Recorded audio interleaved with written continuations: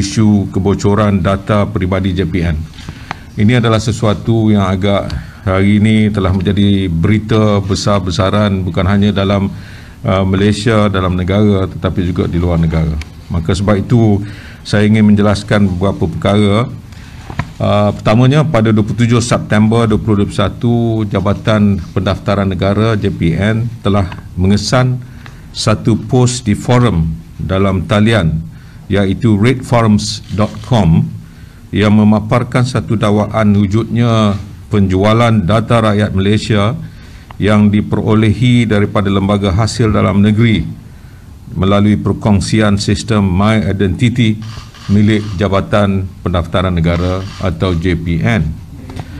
Data tersebut didakwa berjumlah 4 juta yang mengandungi maklumat rakyat Malaysia uh, yang dilahirkan daripada tahun 1979 hingga 1998 Data ini uh, telah ditawarkan untuk jualan dengan harga uh, Bitcoin point point 2 BTC atau mata wang digital uh, yang bersamaan dengan 35,495 ringgit. JPN telah melaporkan perkara ini kepada pihak lembaga hasil dalam negeri supaya membuat siasatan sama ada kebocoran data tersebut berlaku di agensi tersebut. Satu laporan polis juga telah dibuat oleh JPN pada uh, hari yang sama 27 September 2021 dan Suruhanjaya Komunikasi dan Multimedia Malaysia pada 28 September 2021. Ini adalah bagi membolehkan siasatan dilakukan dengan segera. Pada 28 September, satu perbincangan bersama National Cyber Coordination and Command Center atau NC4 NACSA uh, dan Lembaga Hasil Dalam Negeri uh, juga telah diadakan. Antara perkara yang dibincangkan adalah isu-isu serta kaedah perkongsian My Identity dengan pihak Lembaga Hasil Dalam Negeri serta kawalan keselamatan terhadap data berkaitan. JPM berkongsi perkhidmatan sistem My Identity ini bukan hanya dengan LAHDN tetapi juga dengan beberapa agensi kerajaan yang lain uh, bagi tujuan semakan dan pengesahan identiti warga negara Malaysia dan pemastautian tetap yang berurusan di agensi masing-masing. Uh, JPN telah menjalankan siasatan dalaman dan kita dapati uh, tiada kebocoran atau uh, perkara-perkara yang tidak diingini uh, berlaku dalam sistem JPN itu sendiri. Uh, JPN juga mengesahkan tiada sebarang kes uh, seperti demikian yang pernah berlaku sebelum ini. Uh, jadi uh, kita nak memaklumkan jangan risau our firewall is quite strong in that sense.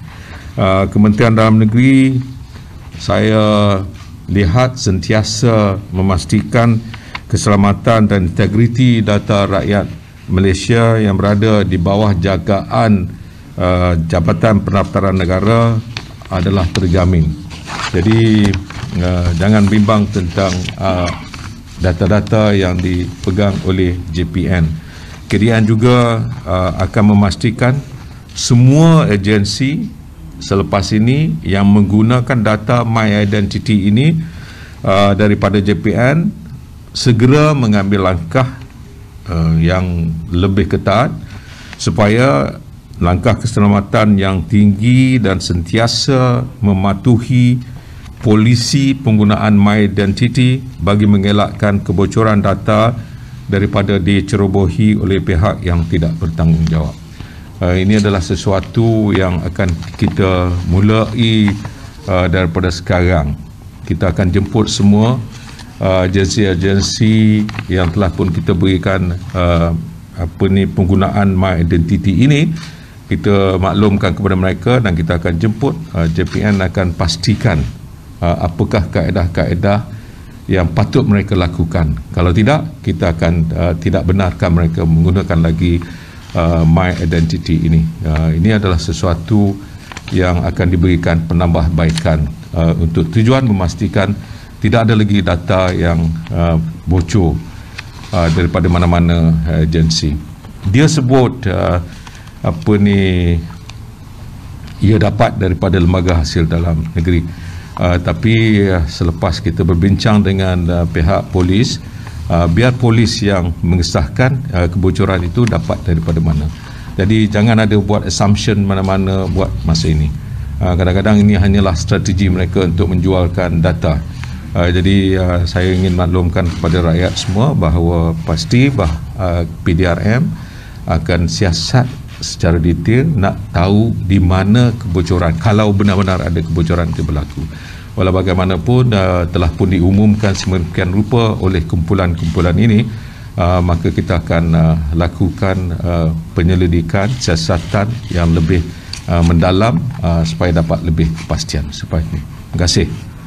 Okey alright ada soalan ya apa dia selain perkongsian maklumat dan data di dalam segi agensi KDN sendiri atau kerajaan lain kemungkinan berlaku daripada kebocoran daripada agensi swasta yang mempunyai jalinan kerjasama dengan uh, bahagian agensi kerajaan tadi Uh, kita sebenarnya tak benarkan uh, agensi-agensi yang berkongsi dengan kita ni untuk berkongsi pula dengan orang lain. Itu sebenarnya kita tak benarkan. Sebab itu kita nak minta supaya uh, PDRM uh, buat siasatan dengan lebih lanjut.